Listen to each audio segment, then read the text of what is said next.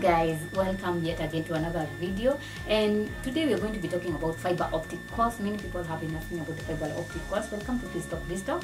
this is a channel where we talk about businesses. We give you tips and insights on how to run start and manage your business. And uh, we also talk about online courses. And uh, i have been getting questions regarding the fiber optic course and uh, i'm going to answer some of the questions that you have been sending me. And one of the questions I have been getting is is fiber optics a good career? Yes, it is because you find that fiber optic cabling uh, splicing can be a well-paying job, particularly for those people with specialized training and experience. And in fact, that the salary for fiber optics uh, cable splicers varies depending on the factors such as location where you're located, things like experience, and the type of employer that you have. And then. Uh, another question is what are the two hard skills that a fiber optic technicians need to have so if you're a fiber optic technician, some of the skills that you need is uh, is you need to have the most common fiber optic technician hard skill is fiber optic cables. So we find that 28% 28% uh, of fiber optic technicians have the skills on their resume. So you need to have that on your resume or as a skill. And the second most common hard skill that you need is a fiber optic technician is ladders appearing. That is 10%. You have to know how to use ladders because you are dealing with fiber optics.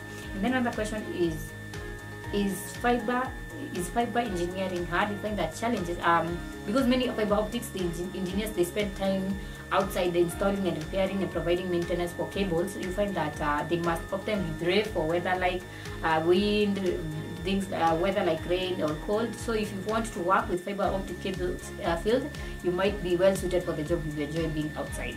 And then another question is. Um, how long does it take to learn fiber uh, fiber optics so if you're interested in doing a fiber optic course at Finstock Evarsity College a short course will take you to uh, one to four months a certificate will take you eight months then a diploma will take you 12 months and then someone is asking is fiber optics hard to learn. So you find that fiber fiber optics for end users for home or business may seem like a brand new concept and people may think it uh, it's a complicated thing for beginners to start and engage but in reality uh, you find that it's not. Utilizing fiber optics for networking can be uh, easy and fast. Where can you learn fiber optics uh, engineering. So you can do this at Finstock Evarsity College.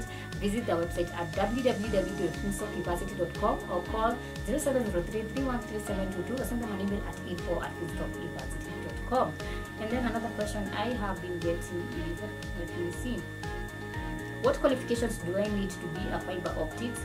So uh, engineer so if you want to do a fiber optics uh, engineering course at Finstock Evarsity College a short course will not require any grade. But if you want to do a certificate you need to have a minus if you want to do a diploma you need to have a C minus at Finstock Evarsity College so if you're interested in doing a fiber optics course enroll at Finstock Evarsity College you have seen their website is www.finstockevarsity.com or call them at 0703 313 or send them an email at info at finstockevarsity.com Make sure at the end of this video you like, you comment, subscribe, share, hit on the notification button so that every time I upload a new video you can always be notified.